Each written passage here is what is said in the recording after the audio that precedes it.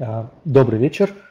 Начинаем наш вебинар по вторникам, посвященный фундаментальному анализу, ситуации на рынке, а, текущим а, возможностям. Поставьте плюсики, если видно и слышно. Видна быть всего лишь шапка, должна быть видна с фундаментальным анализом. Надеюсь, слышно хорошо. Вот поставили уже первые плюсы. Как обычно, я должен представиться. Я Фред, э, трейдер, управляющий активами, а, торгую на рынках очень-очень давно, живу этим, мне это нравится. И вот с э, лета прошлого года мы решили делиться опытом, общаться с э, клиентами или потенциальными клиентами, слушателями Admiral Markets. А, вроде получилось неплохо. А, и,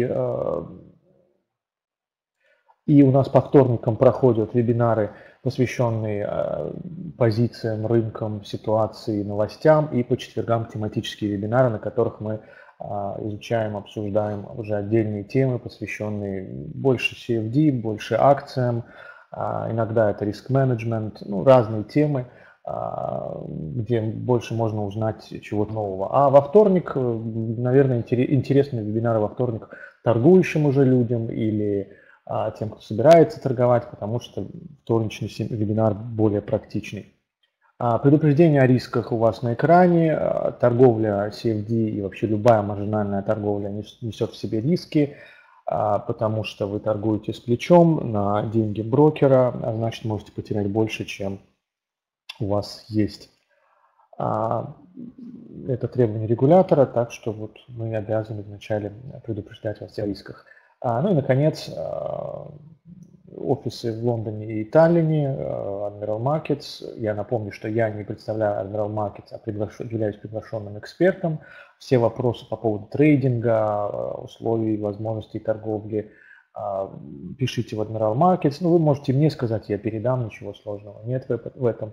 А если вас интересуют какие-то темы по вебинарам, кстати, вот сейчас мы планируем на апрель месяц а, весь календарь заполнить вебинаров тематических. В основном речь о них идет, потому что вторник а, он ясен, а, чем будет заполнен текущим рынком, да, фундаментальным анализом. А вот по четвергам мне нужны от вас, которые вас интересуют. Мы уже однажды так сделали, вы написали темы, там был и риск-менеджмент, там были и акции BMW, мы все это разобрали, всем вроде понравилось, было отлично. Мне не пришлось а, угадывать, что вам интересно, потому что, а, как я спросил в прошлый раз у всех слушателей, и география разная, и что уж говорить, даже депозиты разные, все разное. Кто-то CFD не торгует, кто-то больше фьючерсами интересуется. А, поэтому а, я бы очень хотел, чтобы предложения исходили от вас. Просто напишите, что вам интересно, какая тема вам интересна. А соберется 8, 9, 10 тем. Я выберу те, которые наиболее актуальны и интересны большему количеству людей, и по четвергам буду рассказывать о них. Или же все выберу, если их будет не так много. Вот в апреле у нас 4 а, или 5 недель, 4 или 5 четвергов. А, так что пишите, а если вы не напишите, напишу я, и, возможно, это не совсем будет подходить вам, потому что то, что интересно мне, не всегда интересно слушателям. И, наконец, а, последняя страница, тут контакты и телефоны, а вот на этот email можно писать, и специалист, представитель Admiral Markets, который занимается регионом да, русскоязычных клиентов, обязательно ответит, если не в тот же день, то на следующий день. Итак, начнем. А с метатрейдера, конечно же, по новостям была не очень интересной, но это не помешало рынкам а, так сказать, двигаться в разные, причем стороны, а, сначала в одну, потом в другую. А, как мы говорили, у нас, да, напишите, пожалуйста, виден ли экран, потому что я переключил на MetaTrader. Вроде должно быть видно. Да, отлично. А, мы долго говорили о том, что S&P а, вокруг э, вот этой трендовой линии все, все крутится, вертится. А, пробитие, оно не то чтобы ложным, обратите внимание, какую свечу оставили, это был ночной, ночные торги, немножко увеличу, я просто это наблюдал воочию уже ночью на Азии. Был небольшой гэп, потому что мы в пятницу закрылись небольшим повышением, диапазон движения по S&P был достаточно широкий, то есть этот день обещал быть э, движением вниз, да, закончить день обещала, обещал рынок, но под конец рынка откупили, а свеча закрылась все-таки белая, да, стала, рынок закрылся вверх, а вот уже на, следующий, на следующую сессию в понедельник на азиатских рынках, это же фьючерс, он в Азии торгуется, а открытие свечи было с гэпом, и рынок провалился вниз. Ну, достаточно сильно, 1% это очень много э, по нынешним меркам, и 1% падения много, и 1% роста вроде тоже, вот единственный день, когда был 1% роста а, с начала года. А, но тоже откупили, и, и это же падение откупили, и вот сегодня уже фактически, ну, если тут немножечко правильно подправить, да, под линии, все-таки графики на H4, на Daily, на Weekly немножко отличаются по там, углу наклона, это проблемы, собственно, метатрейдера, а может не только метатрейдера. Ну и мы видим, что свеча, классически закрытие произошло уже вне канала, точнее в канале, выше этой линии, и рынок обратно вырос вверх. То есть не произошло никакого пробития. Если оно и было в моменте, то закрытие свечи нам не говорит о том, что рынки пробили свой восходящий тренд. Посмотрим, что будет дальше.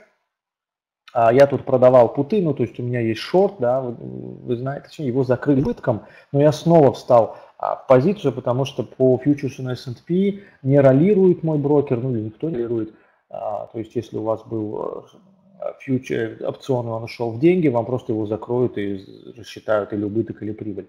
Я снова зашел в шорт, вот я вам покажу, кстати, свой счет, как-то такая традиция уже все время показывать счет. Это и меня дисциплинирует, и а, вам дает знать, что я трейдер и торгую вот тем-то, тем-то. Вот здесь уже 114, хотя было и чуть выше, ну, вот держимся стабильно.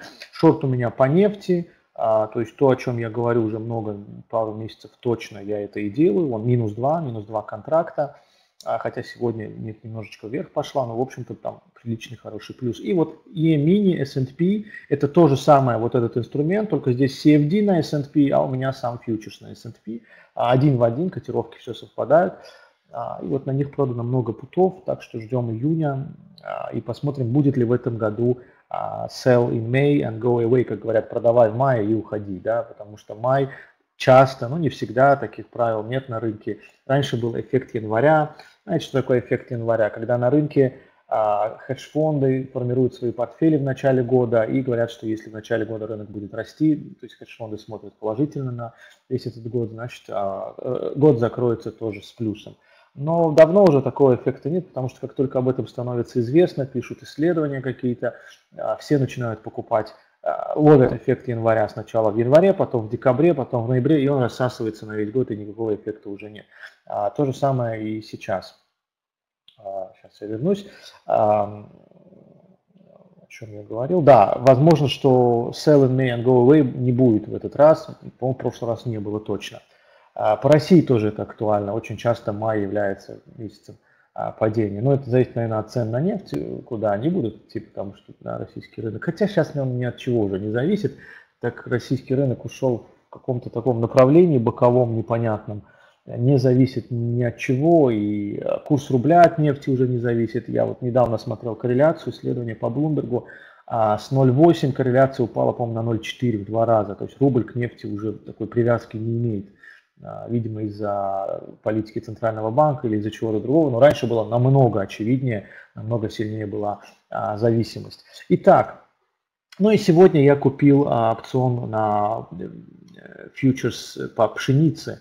А, я не знаю, есть метатрейдеры пшеница? Раньше была, кстати, раньше были. Давайте посмотрим, самому интересно. Я уверен, не все из вас знают, потому что все торгуют почему-то только евро, фунтом, иеной, а тут вот столько интересного. Давайте вот мне самому стало любопытно, а есть ли здесь из, а, из ну, так как я не работаю в Admiral Markets, нормально, что я не знаю все, что терминуется.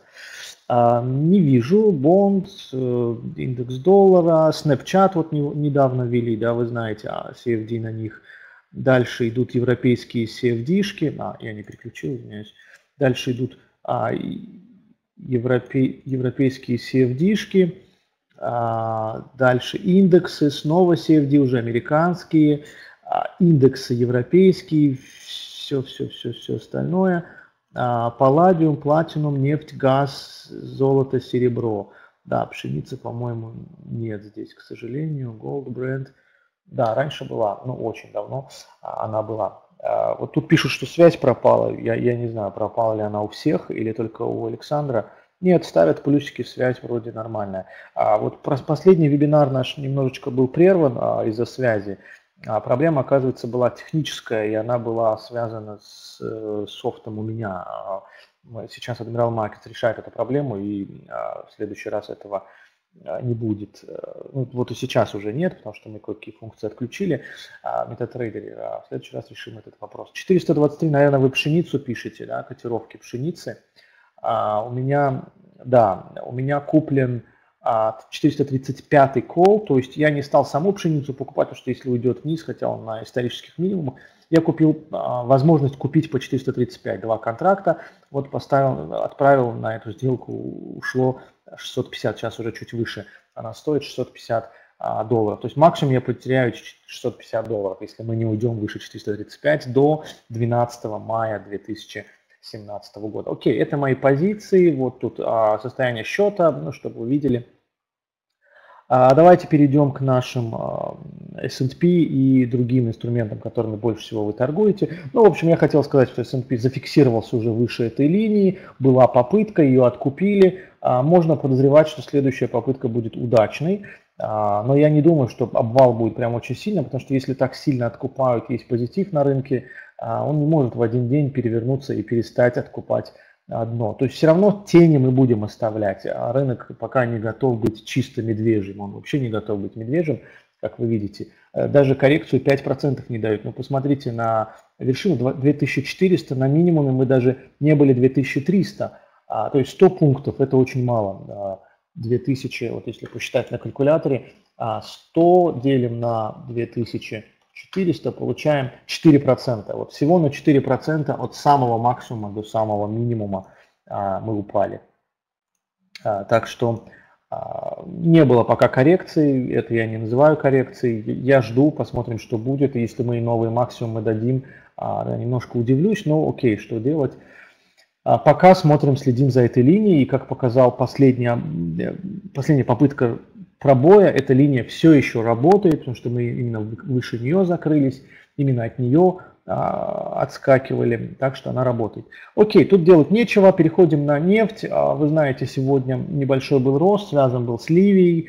А, в Ливии опять закрывают, снижается добыча, там с портами связано, форс-мажор объявили. Но это делают, чтобы компании а, не теряли, не несли ущерб по контрактам, потому что если а, нефтяная компания не поставляет контрагенту а, по каким-либо причинам, не зависящим там, от нее даже, а, но это не форс-мажор, да, то есть можно доказать, что компания виновная, она должна выплатить деньги, потому что где-то неустойка у другого контрагента, который покупал эту нефть.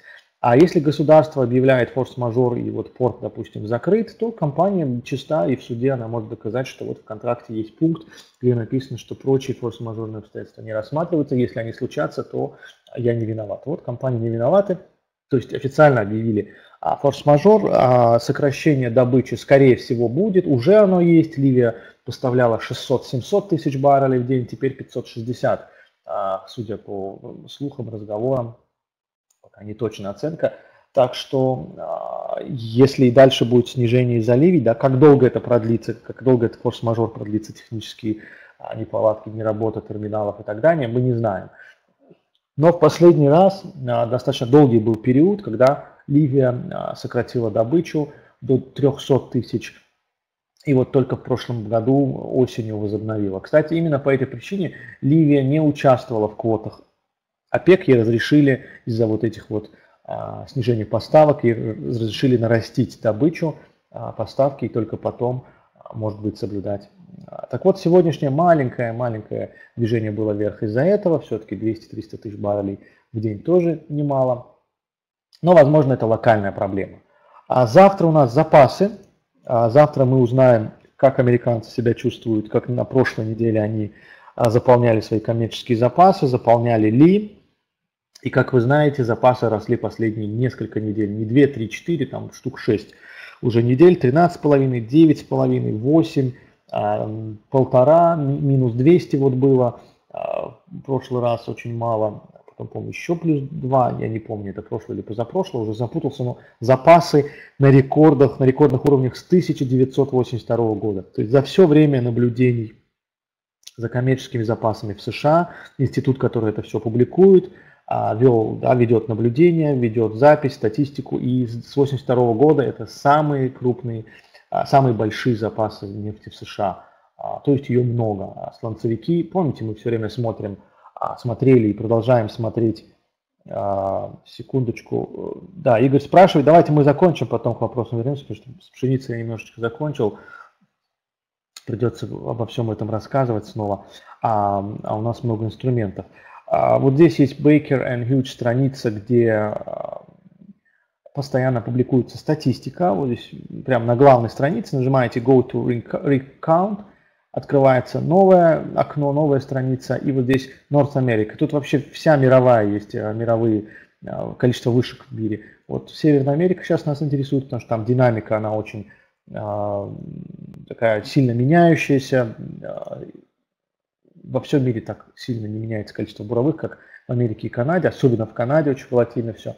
И вообще все проблемы пришли оттуда, то есть снижение нефти пришло именно из этих факторов. Вот такой PDF-файл открывается, я показал, как его смотреть, и а, наберу, если, конечно, у вас эта прямая ссылка откроется. Нет, она вот ведет на мой жесткий диск почему-то, потому что а, закачали. Давайте я вот эту ссылку дам, потому что PDF-файл уже закачался на мой жесткий диск, поэтому он его открыл оттуда. А что мы видим? Мы видим Америка 21 вышка на прошлой неделе была, а, уже 60, 652 вышки в Америке. А, год назад было 372, и напомню, минимум был в мае, в конце мая 316 вышек. Сейчас уже 300, 652. То есть ровно в два раза больше, чем было год назад. Э, не год назад, в мае, ну почти год назад, да, в мае 316, в два раза больше. А немножечко количество вышек и добыча отстают друг от друга, так что не всегда это прям один в один. Но все же, а, вот мы видим запасы. Всю осень, все лето американцы качали, качали, качали. И вот сейчас это сказалось на том, что запасы в Америке увеличиваются, а это чисто медвежий фактор. Теперь тогда же почему вы скажете, нефть не ушла ниже там 45, если так много нефти, так много а, медвежьих факторов на рынке, тут есть, э, ну, как минимум две причины. Об одной мы говорили, это сегодняшний Ливия, да, все-таки нефть стояла на месте и вдруг начала расти. Вот сегодня, например, рост, да, был. Вчера мы чуть не дошли до минимума локального, 47.06 было, 47.07, а сегодня пошел рост и то со свечкой, и то с откатом. Так вот, второй причиной является то, что сразу 6 стран, а, входящих в ОПЕК, заявили, предложили, точнее, а, продлить продлить срок, вот квот, он заканчивается 1 июня, потому что раз в полгода собирается ОПЕК, очередное заседание будет а, в июне или в конце мая, обычно в начале июня.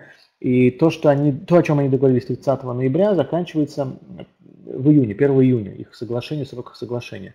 И вот сразу 6 стран предложили не возвращать квоты, а продлить и дальше а, сокращать уровень добычи а, чтобы цены смогли вернуться там хотя бы в 50, на уровень 53, 55, 56.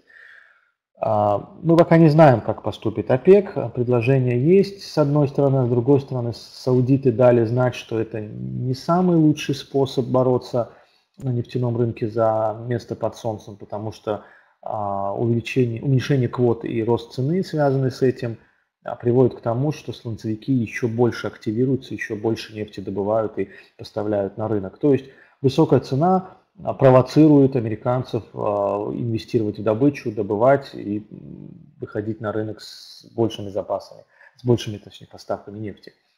Так что вот этот фактор ОПЕК, он как домоклов меч висит над рынком, рынок боится, что мало ли еще раз соберутся а, но пока об этом никаких разговоров нет. Я не исключаю, что мы провалимся, потому что от завтрашнего дня все зависит. Завтра кто торгует нефтью, будьте готовы, а, выйдут запасы, возможно, будет волатильность. А, вот я не исключаю, что при запасах миллион, два, три уже, хотя это немного, было и 8, было и 13, вот, при таких запасах нефть, запасах нефть может провалиться еще ниже, там, вот до 45. Так что ждем этой статистики и в пятницу ждем количество буровых. Но количество буровых не такой важный фактор, он не так быстро и не так сильно влияет, как сами запасы. Да и запасы недолго влияли. Вот помните, мы все время обсуждали, что запасы высокие, а нефть стоит на месте. И вот, наконец, а, рынок услышал нас. А, окей, идем дальше. А, давайте, что у нас еще тут есть? Газ, да, вчера спрашивали меня в скайпе, Константин, по-моему, из Украины, не знаю, сейчас он здесь или нет, по-моему, спрашивал до того смотреть газ, какие факторы отслеживать. Я, к сожалению, полного обзора не смог для него подготовить, но попросил его сегодня на вебинаре об этом поговорить. У нас газ один из самых техничных работающих с точки зрения технического анализа а инструментов. А, у нас значит, флаг пробили, идем вверх. А, тут тоже запасы выходят, но уже в четверг. Вот самая главная статистика – это запасы газа по четвергам. Они тоже на пятилетних максимумах, но это уже отыгранная информация. То есть эти максимумы не первый день появились, они уже несколько месяцев исторически выше, чем было в среднем за последние пять лет, да, так скажем. А, и вот еще меня спросили, почему он идет против климатических факторов, потому что вот так-то, так-то, зима вроде уже теплая и никаких проблем а, с климатом не, не обещают пока, а газ снова растет.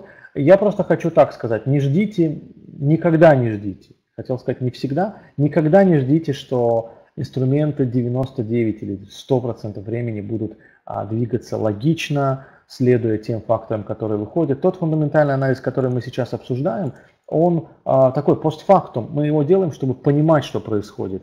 А, то есть не факт, что завтра а, обсуждаемый нами фактор, запасы, например, по нефти, а, выйдут плюс там 8 миллионов и нефть не уйдет вверх.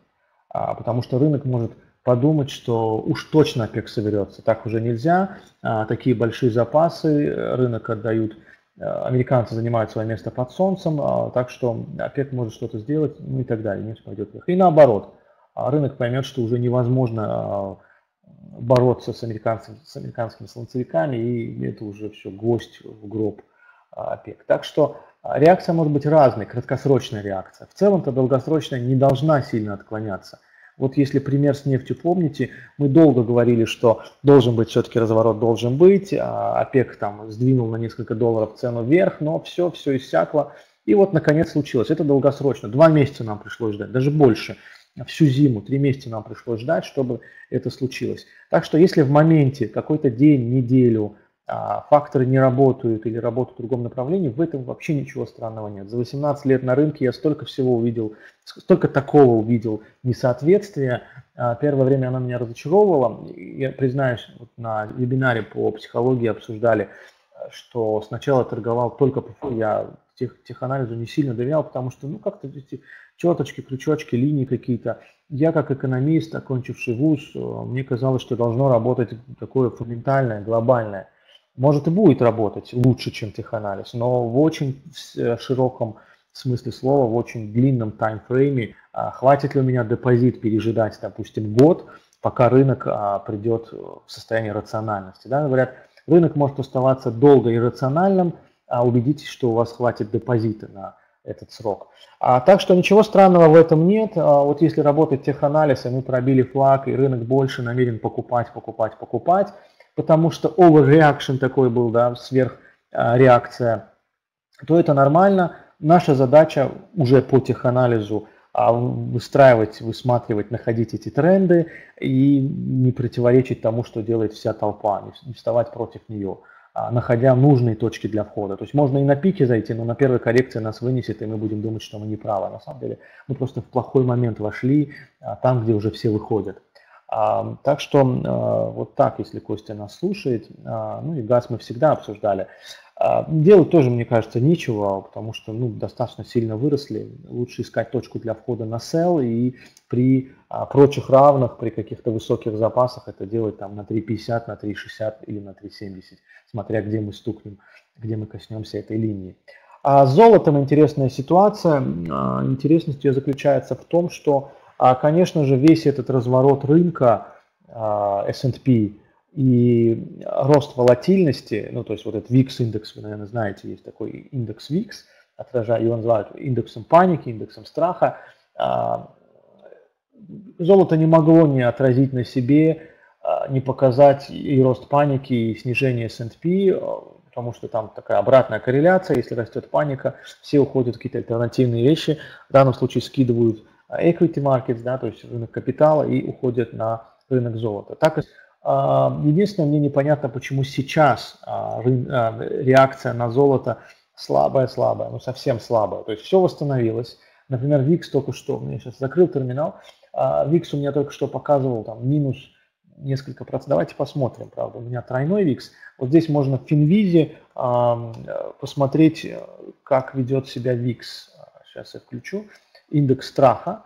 То есть это, по сути, обратная, обратно пропорциональная индексу S&P, такая формула, что ли, скажем, да, индикатор. А вот здесь в углу фьючерсы, да, находим, кликаем на фьючерсы, и в углу должно быть а, где, где, где, вот даже биткоин тут есть, дожили, а, а где VIX или индексы, нет, я Форекс нажал, вот оно, что я Форекс нажал, фьючерсы нажимаем, вот здесь в углу VIX, минус 6% сегодня, а видите, VIX с грохотом развернулся, сверху уже падает на 6, почти 7%, потому что рынки растут, эйфория снова на рынке, паника рассасывается, а золото не отыгрывает обратно так сильно – Поэтому я бы предложил, может быть, хорошо бы встать в sell, а, хоть и момент входа не очень хороший. Давайте я все линии эти уберу, тут их очень много, или просто увеличу график, я их убирать нет, не хочу, потому что их придется снова рисовать. А, у нас скоро касание там уровня 1270, новое сопротивление, а мы сейчас на 50. А, ну, то есть там бы хорошо было зайти в sell. Или вот нисходящий канал, нет, все-таки увеличу, уменьшу, нисходящий канал, мы его еще не увидели, не коснулись, но все же он очень близко. А, мне кажется, золото ну, не отыграло до конца то, что эйфория а, снова на рынке и паника рассосалась. Посмотрим, что будет. Возможно, мы снова уйдем а, вниз. Я бы, я бы вот зашел на сел со стоп-лоссом коротким. Или же просто золото ну, не видит причин откатывать вниз. Э, может, паника и рассосалась, но тут же не только фактор паники влияет на золото. Что еще влияет? Наверное, вы знаете, инфляция влияет.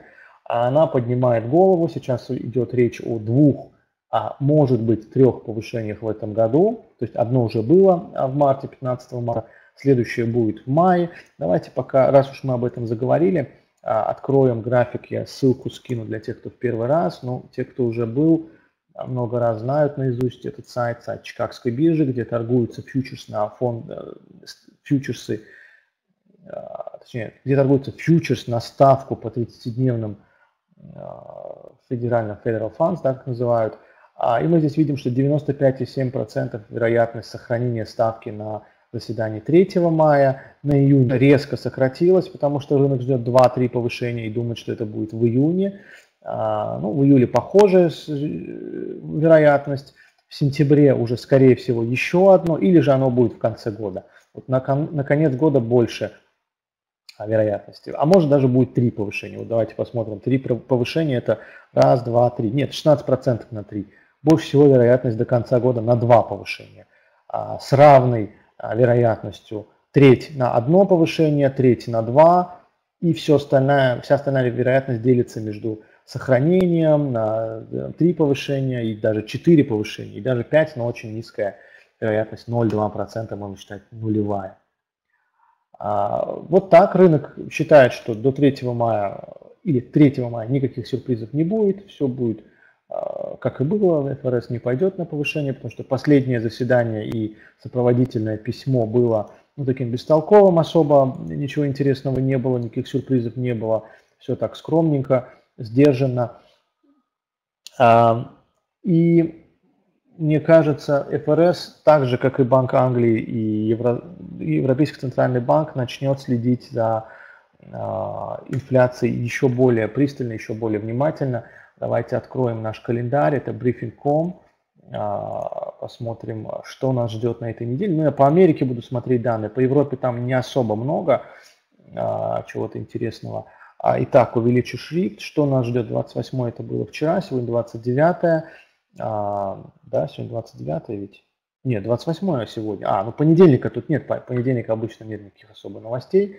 Кейс Шиллер – это индекс по недвижимости, собственно, эти два профессора, или один, ну Шиллер точно профессор, а вот Кейс не знаю, человек или, или нет. Шиллер профессор Ельского университета, который вслух э, кричал с чуть ли не шестого, пятого, шестого года, что рынок недвижимости хлопнется, ипотечное кредитование на критических каких-то уровнях, все будет плохо, его не слушали, его действительно он угадал, так что он сейчас уважаемый эксперт по недвижимости, по ценам, ипотеке и так далее. И вот этот индекс на квартиры в 20 городах крупнейших США вырос на 5,7%. Собственно, этого и ждали. Да? Ждали 5,7, 5,6%. Выросло. Предыдущее было 5,5%, то есть усиливается на недвижимости инфляция. А вот Consumer Confidence показал новый рекорд. Давайте посмотрим, как он вырос. Это значит индикатор, по, показывающий уверенность потребителей. А для тех, кто в первый раз, хочу сказать, что у нас были, была серия вебинаров, посвященная фундаментальному анализу а, в прошлом году, осенью, в ноябре. И там мы обсуждаем все индикаторы, я рассказываю обо всех индикаторах, как они влияют на рынок, как они работают. Зайдите на канал Admiral Markets в YouTube, просто вбейте Admiral Markets Россия, ну так называется Admiral Markets Russia, и там вы найдете 5 фундаментальный анализ. Вот я напишу название видео или просто вбейте а, в YouTube фундаментальный анализ от А до Я и вот автор, вот как-то так. Э, серия 1, 2, 3, вот первый посвящен инфляции, там э, показатели спроса, ВВП и так далее. Вот посмотрите на текущий, а, вот это синее, это текущий уровень э, да, consumer. Есть ожидания, есть общий, точнее текущий это сиренево-бордовая линия, или как она, фиолетово-сиреневая линия, а оранжево-желтый это ожидание, а тотал это то, что между ними, ровно середина. Так вот, то, что между ними уже достиг рекорда 125, это выше, чем а, до кризисной восьмого года, это выше, чем 2001-2002 год. То есть новый рекорд по уверенности потребителей. Потребители в США еще никогда не чувствовали себя так уверенно. Это связано с низкой безработицей, это связано там, с доходами а, американцев. То есть рынок а, чувствует себя хорошо. Я говорю о рынке э, розничных, да, retail sales, а о потребительском рынке, а он составляет там, чуть ли не 66-67% ВВП США. А вот впервые такой рекорд, ну, наверное, уже надо понимать, что деревья до небес не растут, эта эйфория везде может локально хотя бы подойти к концу. Такого уровня еще не было никогда. А кто им внушил такое доверие? Не, ну, с, чем было связано такое доверие? То ли а, с президентскими выборами связано, не уверен, то ли с чем-то другим, но оно на исторических максимумах, как и многие показатели, кстати, по США. Ну и, наконец, 30-го мы увидим ВВП в четверг, а, третья оценка, то есть final да, ВВП конечный, ожидается 2%, а, и вы знаете, с ВВП поступает нам информация о дефляторе GDP. Это инфляционный показатель. Дефлятор – это рост цен на все и вся в экономике. То есть, если CPI показывает рост цен на потребительские товары, PPI на производственные, дефлятор показывает рост цен на все. Он не столь важен, потому что ну, слишком много там компонентов, там все, что есть в экономике. От а, там, чашек и заканчивая железнодорожными шпалами.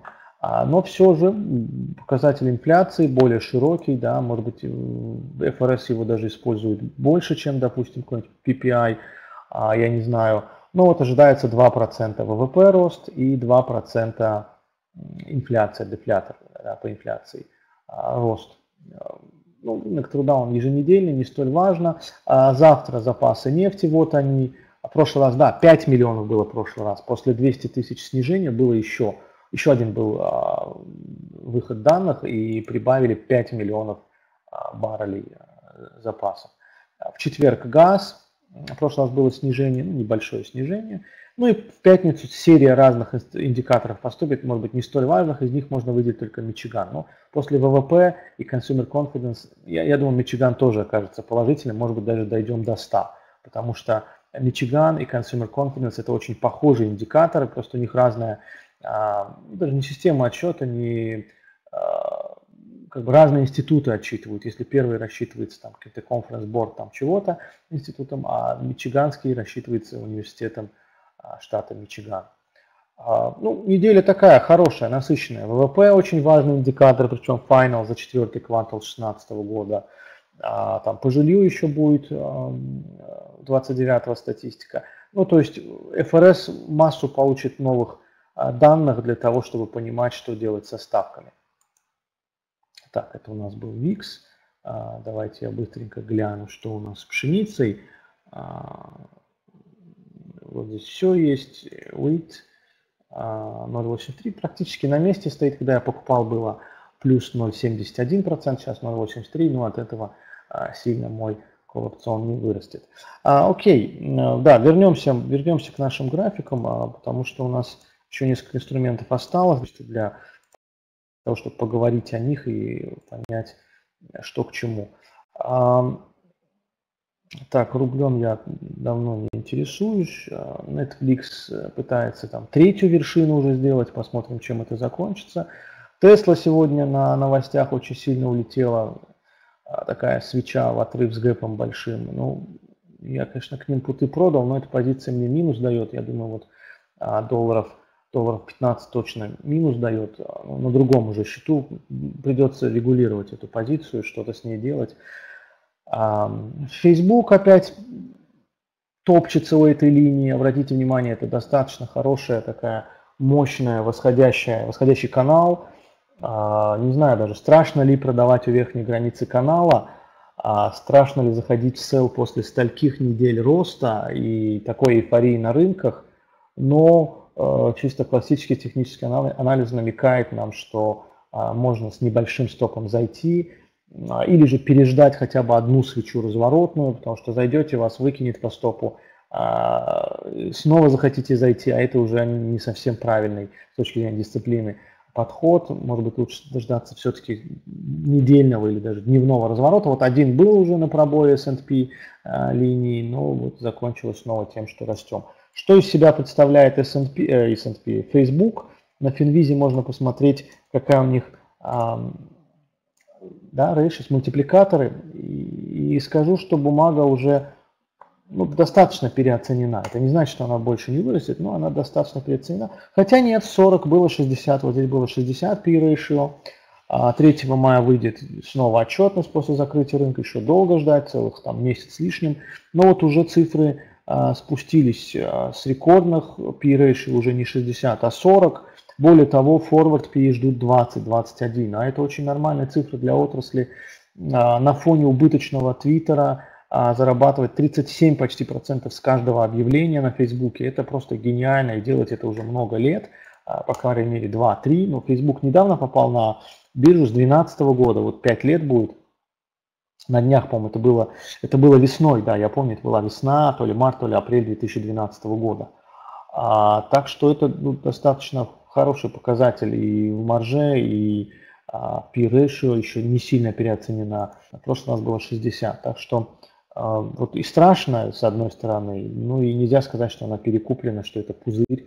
А, так, что у нас еще осталось? А, Apple, USD. Ну и да, евро. Тут, тут конечно, все грязно уже происходит, исполняется, но тому есть причины. За технику я сейчас не буду говорить, а вот с точки зрения фундаментального анализа, тут, в общем-то, понятно все. Вы знаете, было заседание ЕЦБ недели две назад, потом Банк Англии, и риторика центральных банков немножко сместилась в сторону истребимых заявлений.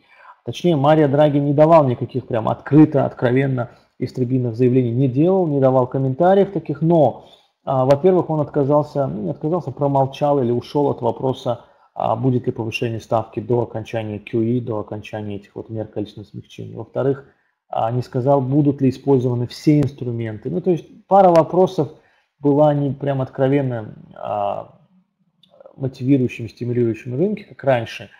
А, хотя объем выкупа облигаций не изменился, а, он, как было намечено, до 1 апреля будет 80 миллиардов э, евро в месяц, после 1 апреля 60.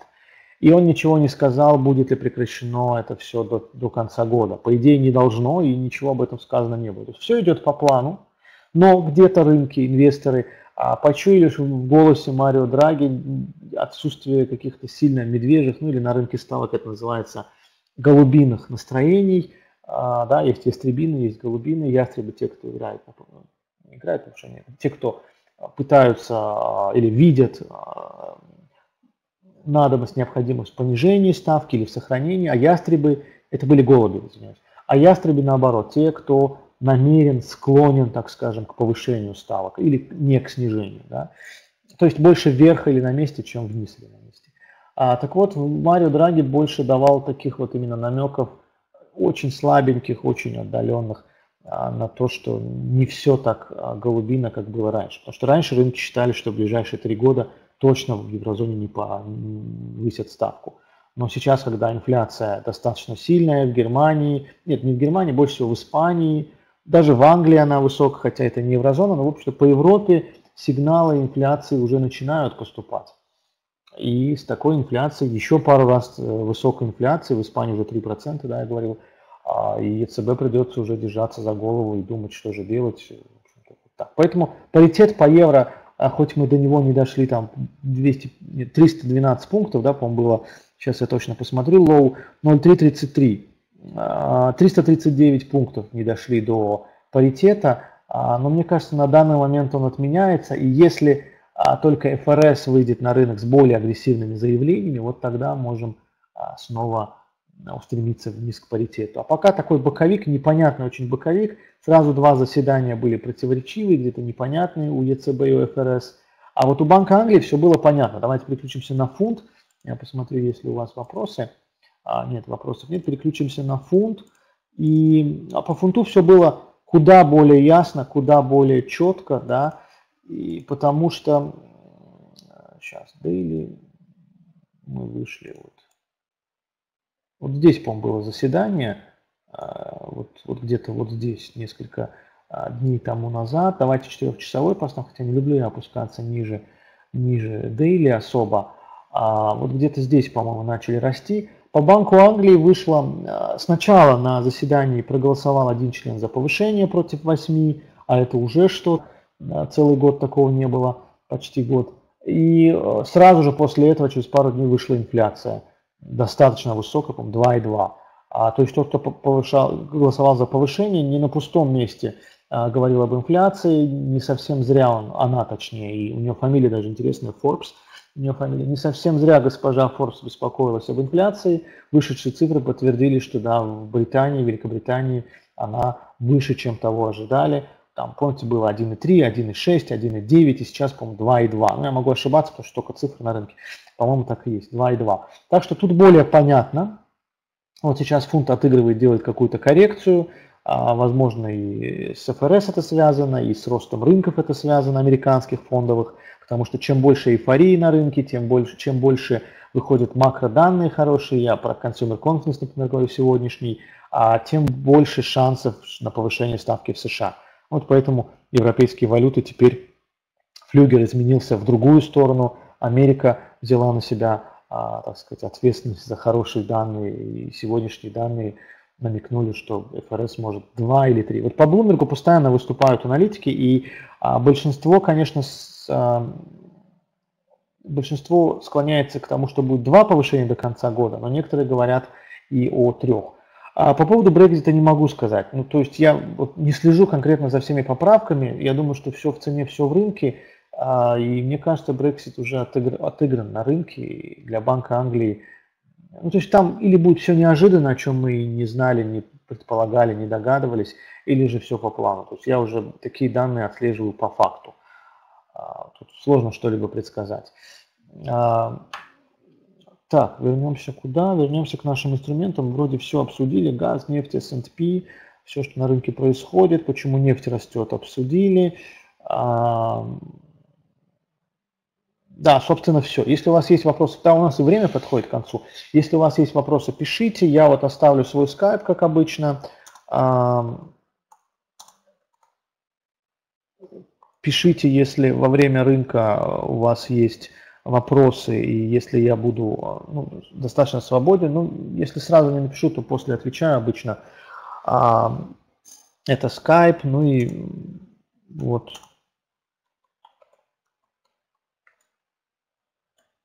Инстаграм, если кому интересно, это ИГ. А, пишите, добавляйтесь, я всегда на рынке, если есть какие-то вопросы во время выхода данных – то можете задавать, потому что вебинар постфактум да, происходит вечером, никакие данные не выходят. А вот во время выхода запасов мне пару раз спрашивали люди, а, я отвечал, Так что я всегда на рынке, если даже у вас есть какие-то трудности, вопросы, у меня на одном вебинаре человек жаловался, что у него ничего не получается. А, ну, все, что я смог сделать, дать ему хорошую книжку, ссылку, чтобы он скачал хорошую книжку. Казалось, что он не читал никаких а, книг а, по техническому анализу. Пришлось ему дать ссылку, и вроде этого пока было достаточно. А какой прогноз по фунту, не знаю. Давайте вот эта 50-я поправка, все это пройдет. А, а, сейчас, на дейли. Мне кажется, что здесь очень сильный уровень. А, вот даже на, на сильной инфляции этот уровень пройти, а, пробить сложно. Даже вот так вот сделаем, он все-таки немножечко нисходящий. И вообще я не люблю слово прогноз, я по позиции, по, по, по а, текущей да, ситуации веду себя. Вот видите, ровно коснулись, этот нисходящий треугольник сработал, вот он снова и снизу есть. Очень аккуратный, очень точный, давно я не видел таких на дейли красивых фигур. Третье касание, да, я имею в виду, потому что два не считается, два мы только соединяем. Третье касание сверху, третье касание снизу. А, вот прогноз мой такой, что мы будем двигаться вправо и пробьем одну из этих двух линий. Да, слишком умным быть не надо, чтобы это спрогнозировать. А вот в какую сторону мы пробьем, вот туда я и направлюсь. А предполагаю, что при продолжении сильной инфляционной, сильного инфляционного давления а, пробитие будет все-таки вверх, если ФРС продолжит тупить. То есть мы должны увидеть два фактора. ФРС нажимает на газ, хорошие данные ВВП, допустим, может завтра выйти, хорошие данные по consumer confidence, все остальное никак не сказывается на а, решении комитета по, монет... как там, по операциям на открытом рынке ФРС никак не сказывается. Остается прогноз на 2-3 повышения. Я уже показывал, где смотреть вероятность. А, по Англии выходит хорошая, следующая хорошая инфляция, или вот ВВП еще будет по Англии. Вот тогда нажимаем на газ по фунту, он пробивает, возможно, эту линию. И после того, как быки зайдут... А, я не переключил секунду, на MetaTrader переключу.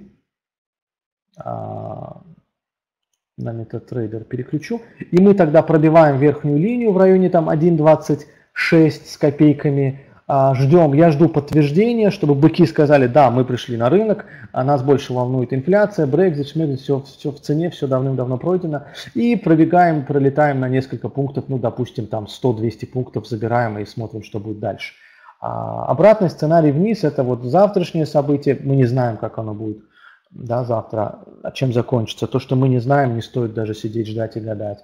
Дальше ФРС нажимает на газ, доллар укрепляется ко всем валютам, мы пробиваем этот уровень, ну и дальше уже торгуем вниз. Но мне больше нравится сценарий вверх, потому что фундамент нам потихоньку намекает, а, я не то что говорю пойдет вверх, нет, не, не принимайте мои слова вот так буквально. Мне нравится сценарий, то есть если бы инфляция в Британии в следующий раз вышла еще сильнее, Банк Англии уже больше склонен был бы к повышению. ФРС бы притормозил немного, как он делал в прошлом году, как и сейчас делает, и мы бы пробили этот level, да, верхний, эту линию, вот мне бы этот сценарий больше понравился, потому что я все-таки сторонник того, что высокая инфляция и вероятность повышения ставок в Англии важнее, чем а, все остальные факторы. Но пока мы находимся в треугольнике, очень узкий диапазон, я бы даже внутри треугольника не торговал, хотя нет, 350 пунктов, немало, а кому нравится внутри торговать, будет торговать, но учтите, что скоро мы вылетим отсюда и а, очень плачевно может закончиться. Хотя стопы, да, выше этих линий, ниже этой линии никто не отменял. Так что, а, отвечая на вопрос Александра и, да, по-моему, Александр только задал вопрос по, по фунту, именно прогноз, хотя вот был еще а Владимир Основиков тоже спрашивал про Brexit, ну тоже касательно фунта. А, так что вот пока мы не выйдем из этих линий, пока боковик этот не закончится, глобальный такой боковик более широкий, а, наверное, лучше ничего не делать. А, вот мы говорили на прошлом вебинаре, что быть вне позиции тоже позиция. Э, если хотите послушать этот вебинар в записи, а, очень многим дискомфортно быть вне позиции, мне очень даже комфортно – а, потому что столько рынков у меня открыто на всех этих мониторах, столько всего я анализирую, что если где-то нет позиции, меня это совсем не огорчает, я занимаюсь чем-то другим. А, скажем, 15 лет назад, даже 17 лет назад а, такой еще выдержки не было, и я сидел на одном единственном инструменте USD GPI на японской иене, доллар к японской иене, и ждал сигналов. Если 3-4 дня нет особо сигнала боковик, то меня это так а, скажем, доставала, заставляла нервничать, скучать, что я заходил в любую вообще сделку, и мне казалось, что все-таки есть сигнал, хотя его не было. Поэтому расширяйте список инструментов, расширяйте список рынков, расширяйте список знаний и данных, которые вы получаете, и тогда а, не будет никаких... А, я сейчас не к вопросу Александра, просто говорю, что вспомнил, а, есть такая частая проблема, особенно у начинающих трейдеров. Хорошо, 22-28, вебинар подходит наш к концу. В четверг я не знаю, какая будет тема, по-моему, она уже есть на, на веб-сайте. Давайте на Admiral Market сайте посмотрим, что за вебинар. Ну, как бы я анонс делаю вот в разделе обучения, Forex CFD вебинары, да, admiralmarkets.com э, или com ru. Это у нас сегодняшний вебинар. Следующий, да, вот он вебинар по Заре. А, у нас в MetaTrader, как вы знаете, с недавних пор появились а, европейские а, э, компании, CFD на европейские компании. Вот они здесь справа. А, стоит для этого зайти э, в Ctrl-M, да, открыть Ctrl-M и справа увидеть весь этот, весь этот список, он внизу. И вот одна из этих компаний, ENDX, а, Indetex она называется, головная управляющая компания, это та компания, которая владеет а, брендом Zara, Bershka, а, что там еще, Stradivarius, Massimo Dutti и так далее. То есть огромная, вот она, ETX, по-моему, да, да, индустрия de Piceno Textil, испанская компания. Вот мы поговорим об акциях этих, этой компании, CFD, рассмотрим вообще эту компанию, насколько переоценена. А, вы все, наверное, видели ее товары в торговых центрах, а, многие, может, даже с удовольствием носят. И мы разберем, насколько эта компания выглядит интересной, какая у нее маржа, сколько с каждой майки футболки Zara имеет компания Inditex, а, прибыль ли работает, и заодно узнаем, кто самый богатый, точнее мы знаем, кто самый богатый. Артега, да, помню фамилия, самый богатый человек Европы, какую он создал империю, какую он... Мне, честно говоря, не нравится с недавних пор ни Зара, ни даже Duty. А, честно скажу, но об этом я в четверг расскажу, потому что мне кажется, что они, они переоценены, у них а, ну, такие не особо качественные, не настолько качественные товары, чтобы стоить, да, лучше немножко добавить и уже купить лучше. Мне кажется, все-таки немножко переоценено. А, окей, и я скажу про то, как Massimo Dutti заманивает людей в свои магазины. Такая маленькая есть фишечка. Недавно я исследовал эту тему. А, рынок, да, многие, наверное, уже отключились, но я в четверг об этом еще раз расскажу. А наверняка не все знают, что а, в магазинах есть специальные запахи, которые продаются. И даже есть фирма, например, латвийская фирма, она и в Эстонии продает эти запахи, которая продает ароматы, распылители, покупают разные бизнесы, кто-то в магазин, кто-то в цех. Ну, то есть зависит от того, что они хотят а, в людях, а, да, какие запахи хотят вызвать и для чего. Так вот, у Massimo Duty есть свой запах, корпоративный, фирменный запах, который ну, очень приятный, такой древесиной, что ли, пахнет а, в магазинах. И он по всему миру, во всех, во всех магазинах Massimo Duty, он одинаковый. А в Нью-Йорке, ну не знаю, есть в Нью-Йорке, нет. В Испании, в Мадриде вы зайдете, или в Барселоне в Massimo Duty, или а, вот тут под боком, допустим, в Таллине зайдете, везде будет одинаковый запах, который только у них а, в магазинах, и он как бы намерен вызвать у нас желание покупать, такой аппетит, действительно очень приятный запах. И вот недавно, недавно один из а, торговых центров в Таллине, говорят, пожаловались на то, что слишком уж стойкий аромат – этой, назовем ее древесина, да, древесины в Massimo Duty, и торговый центр попросил Massimo Duty немножко снизить. Действительно, я был недавно, уже не такой стойкий аромат, как раньше, а уже он чуть полегче, потому что он прям за пределы а, выходил Massimo Duty. Так вот, мы в четверг поговорим об акциях а, головной компании, которая торгует все этими брендами. Всем спасибо. А, вы, может быть, удивлены, но действительно анализ даже таких вещей, как реально вот сами шмотки, а не балансы, отчетности и так далее, достаточно важен. И я еще одну историю расскажу. Напомните, кто посещает, про то, как а, двое ребят, а, собственников хедж-фонда в Америке, нач- изучали компании, акции компании, которая производит джинсы и позиционирует себя как а, компания, шью, ш, которая шьет а, какие-то да, luxury джинсы по заказу, штучные и так далее, как они при помощи небольшого эксперимента выяснили, что не то, что не стоит покупать акции этой компании, стоит играть на понижение, причем очень агрессивно. Они просто тупо ходили по магазинам. А что они делали? Я расскажу вам в четверг, а, что делали два управляющих хедж-фонда, чтобы понять, насколько компания интересно или нет. Всем а, хорошего вечера, жду вас в четверг, удачи всем на рынках, с вами был Фред, а, и встретимся в четверг. А, там время объявлено, там изменилось у нас, да, немножечко время, пере, пере, перевели время, а у нас, я не знаю, четверг это какое число, нет, в четверг будет такое же время, 20.30. Ну, Роман об этом напишет. В общем, Роман напишет, во сколько точно будет вебинар. Регистрируйтесь. Всех жду в четверг. До свидания. Спасибо за участие.